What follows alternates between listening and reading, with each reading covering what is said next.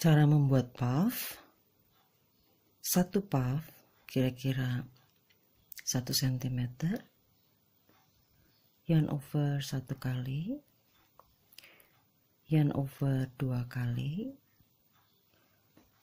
Tiga kali. Empat kali. Lima kali. Tahan benang yang di sini. Jangan dilepas. Lewati kelima benang puff tadi. Tusuk lagi.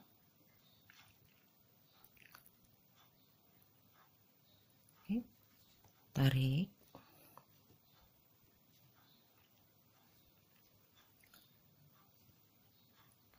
Tarik satu kali kunci satu kali. Disebut single puff. Oke. Okay. Cara membuat double puff. 1 cm jaraknya kira-kira.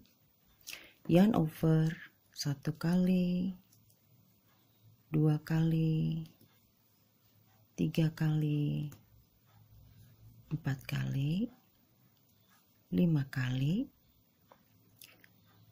untuk satu puff karena kita ingin membuat double puff maka puffnya ada dua kali. Tusuk di uh, lubang besar yang ada di bawahnya. Dua kali ya jadi kalau double puff kan dua ada puffnya jadi ini satu kemudian ini.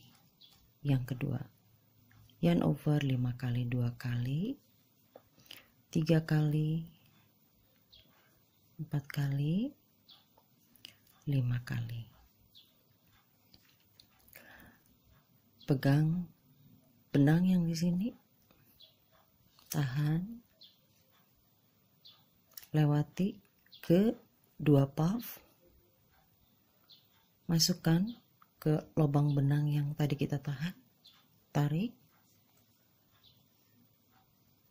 slip stitch, kunci. Slip stitch double puff. Kita sudah membuat dua puff. Sekarang kita akan belajar membuat tiga puff. Tarik satu kira-kira satu senti. Yarn over.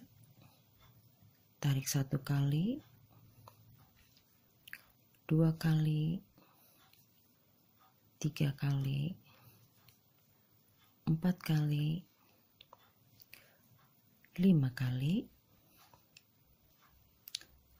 satu kali.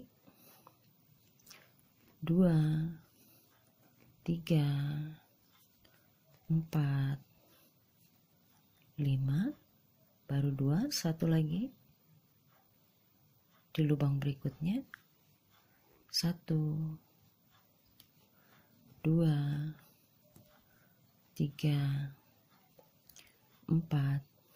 5 ada tiga puff 1 2 3 tahan. Tarik melewati ketiga puff eh? tusuk di lubang yang tadi kita tahan. Tarik. Slip stitch. Dikunci dengan slip stitch Oke, kita sudah membuat tiga puff. Oke, terakhir kita akan membuat empat puff. Tarik satu cm kira-kira. Yarn over lima kali, satu kali, dua kali, tiga kali, empat kali, lima kali, satu puff. Yang kedua, satu kali, dua kali, tiga kali, empat kali, lima kali. Yang ketiga puff, satu kali, dua kali, tiga kali, empat kali, lima kali, dan yang terakhir satu dua tiga, yang keempat puff, satu kali, dua kali tiga kali. Empat kali.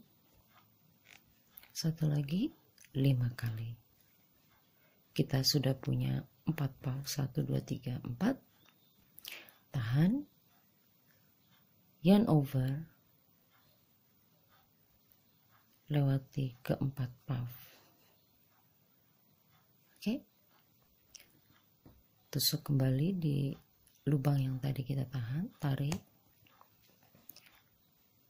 Slip stitch. Slip stitch. Kita sudah membuat 1 2 3 4 puff